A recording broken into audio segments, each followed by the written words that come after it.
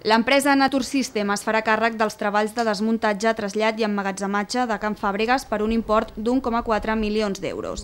Així ho va aprovar el Consell d'Administració de Promocions Urbanístiques de Mataró el passat 19 de maig. Amb l'adjudicació dels treballs s'avança una mica més en el procés de trasllat de la fàbrica. El que passarà ara és que eh, suposo que tenen un mes per fer tota la, tota la tramitació, per signar el contracte i per tant segurament eh, a principis de juny eh, podríem veure veure que comencen les obres. Les obres, tal com deia el projecte, consisteixen primer en un assentament i un, i un agençament d'aquesta obra, d'aquesta peça, perquè després pugui, en el seu trasllat, eh, pugui, eh, després del seu trasllat, pugui recomposar-se més fàcilment. No?